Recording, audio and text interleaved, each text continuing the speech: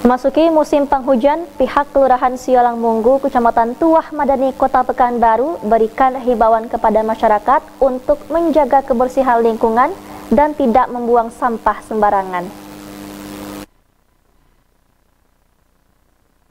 Hal ini dinilai perlu mengingat kawasan Sialang Munggu merupakan kawasan dataran rendah yang selalu tergenang. Apalagi banyak warga yang juga membuang sampah ke anak sungai dan aliran drainase yang juga berpotensi menyebabkan banjir. Hal ini diungkapkan Lurah Sialang Munggu Fitriati, di mana masih ditemukan adanya sampah di aliran anak sungai dan drainase.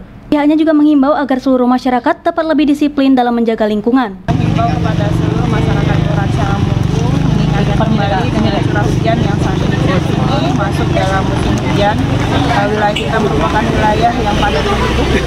Kami mengimbau untuk senantiasa selalu menjaga kebersihan lingkungan termasuk dengan aliran drainase, parit lingkungan sekitarnya dengan memperhatikan tumpukan-tumpukan sampah yang bukan berasal dan yang bukan berada di tempatnya segera untuk kita bersihkan bersama-sama dengan aktif melakukan gotong royong bersama. Pihak kelurahan juga menggandeng pihak RT dan RW untuk melakukan pengawasan. Yogi Sastararja melaporkan.